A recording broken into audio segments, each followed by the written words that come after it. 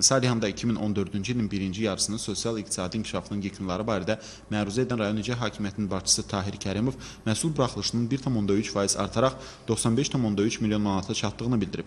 45,1 milyon manatlıq kənd təsərrüfatı, 22,3 milyon manatlıq sənaye məhsulu istehsal olunub.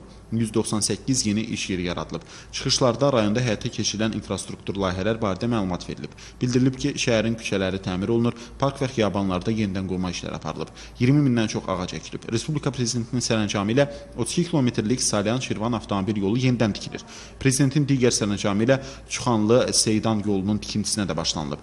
Kür çayı üzərində Salyan şəhərini Babazanlı yaşayış massivi ilə birləşdirən körpü, iki kənddə yeni məktəb binası və Kür-Qaraqaşlı kəndində uşaq bağçası tikilir. Yığıncaqda qarşıda duran vəzifələr ətraflı müzakirə edilib, müvafiq qərar qəbul olunub.